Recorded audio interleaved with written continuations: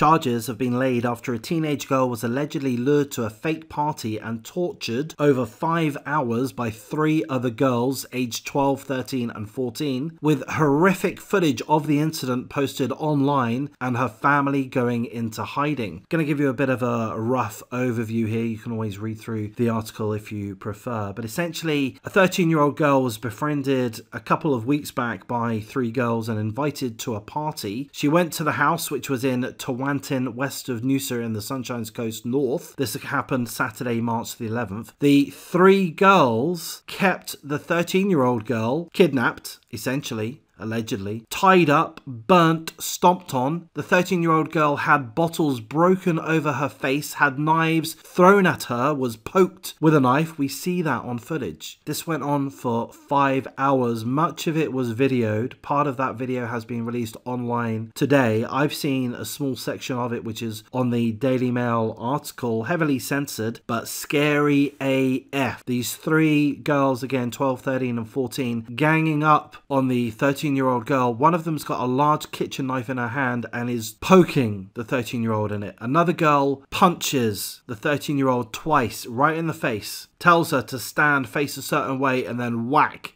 right in the face. After the second punch that we see, the girl runs for the door. She tries to get out, but the others slam the door shut, keep her in there. And then she gets poked with the knife again. Very, very disturbing. I'm going to say at this point, I'm going to go through further, but at this point, I'm going to say that there is a blessing that this didn't lead to a murder. If you if you watch the video, you can sense murderous intent, real evil taken over these girls, the 12, 13, and 14 year old. They've all been charged with a litany of different charges assault occasioning bodily harm, deprivation of liberty, entering a dwelling and committing indictable offences, armed robbery, a number of offences, a number of charges rather, for each of the three girls that attacked the innocent 13 year old girl. Uh, the innocent 13 year old girl was finally released after five hours. Um, she was forced to take a shower before she left. She was also forced to clean up her own blood. When she met up with her mother, she told her mother that the girls had saved her, that she got jumped on. You know, she was attacked attacked by some men and the girls had saved her life, you know. And why did she say that to her mother? Because she was petrified. She was told by the other three that if she said anything, that the three would kill her and her family, including her three year old brother. If you watch the video or part of it that you'll again see on the Daily Mail uh, article, you, you'll see what I'm talking about. You'll see that this girl has every reason to be petrified. She was tortured for five hours with a knife, burnt, stomped on, bottles broken over her face, punched multiple times. Proper punches, not not little tappy tappy punches, whacks. Her mother said that her face was so swollen that she couldn't be recognized. The mother thought her face was going to explode. She got stabbed in the knee. Thankfully, it missed a tendon marginally. She's got a fractured wrist, allegedly. Absolutely terrible. The family is now in hiding, believed to be in an Airbnb, trying to keep themselves safe. And hopefully, the 13 year old girl is going to get all of the support that she's going to need. This is going to cause mental strain, you know, PTSD or whatever it happens to be. It's very, very troubling. I have a lot of confidence that the 13 year old girl will be fine, that she will get over this, that she will get all of the help that she needs. I would like to see a GoFundMe for these guys, not that I'm in a position to contribute, but hopefully these guys do get a little bit of financial assistance to help them through the situation that they're currently in. I think a GoFundMe might be a little bit tricky, seeing as they're trying to